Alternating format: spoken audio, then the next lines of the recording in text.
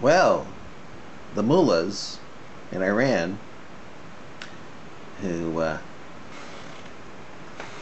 think uh, that uh, the 12th Imam, who disappeared down a well when he was a kid, and can only come back if there's a nuke exchange with Israel, they really got their way today.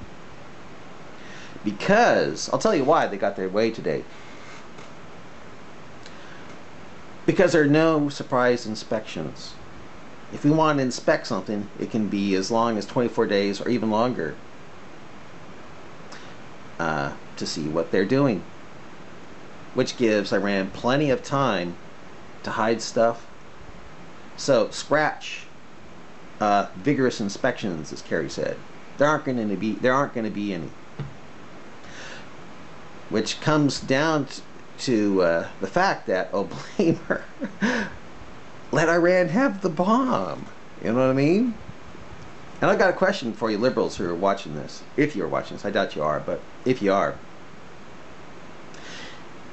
If an EMP goes off over America and wipes out all our internet, wipes out all our, our communications, and puts us in the dark age, ages, makes it so we can't get water out of our, uh, you know, destroys all the pumps and makes us so we have to drink toilet water and stuff like that for a while uh, before we get some weird disease and then die. Um, or if it nukes Israel.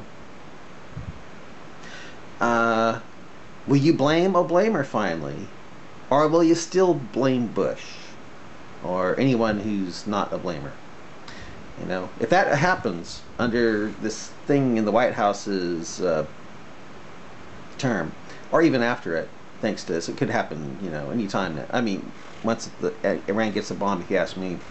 Uh, because of this deal, if a nuke goes off, an EMP, electromagnetic pulse goes off over America, or uh, Israel's nuked, yeah.